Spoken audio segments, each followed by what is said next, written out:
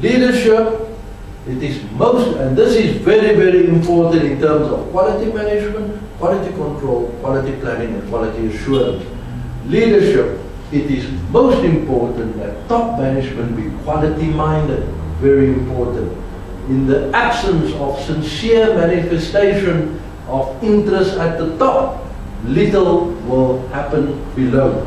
Go to any family in the world, you will notice if the mother and father doesn't show the lead, the children will go astray. Similarly, similar situation. So top management support, leadership very important. A large percentage of quality problems are associated with management, not technical issues. So true. Leadership in quality, very important. The cost of quality, there are two types of cost of quality. The price of conformance, which is POC, and the price of non-conformance. Meaning, for you to implement a quality management system, you're going to pay for that. Meaning that you want to ensure that you deliver a quality product. And that money that you spend on delivering a quality product is the cost of conformance. And the one that you use when you discover defects is called the cost of non-conformance when you don't meet quality requirements. Inspection is one of them. And that will give you um, price of non-conformance costing. Cost categories related to quality, there's prevention cost, appraisal cost, internal failure cost, and external failure cost, and this measurement and test equipment cost, all related to quality. What is prevention cost? It's the cost of planning and executing a project so it is error-free within an acceptable error range. Appraisal cost, the cost of evaluating processes and their outputs to ensure quality. Then the internal failure cost is cost incurred to correct and identify defects before the customer receives the product.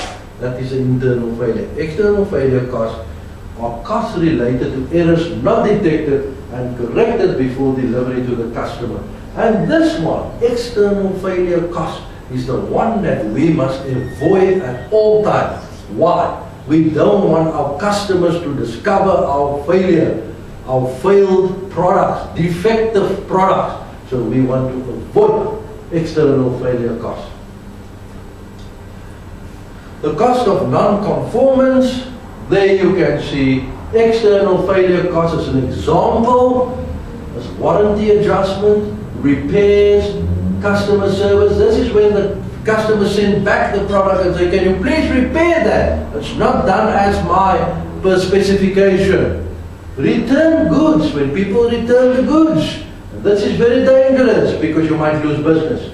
Return repaired goods, product recalls, product liability suits and opportunity costs. Typical prevention costs is quality engineering, design and development, quality equipment, design verification, quality training, quality improvement, um, quality data gathering, analysis and reporting, process control activity, and also if you invest money in research and design or development, that is also a prevention cost because then it means you are improving the way you design. Appraisal cost, receiving inspection, in-process inspection, laboratory inspection, external endorsement, the setup for test, calibration for quality equipment, etc. Internal failure cost is scrap, rework, re-inspection of rework, losses caused by the vendor, downtime caused by defects, and failure analysis.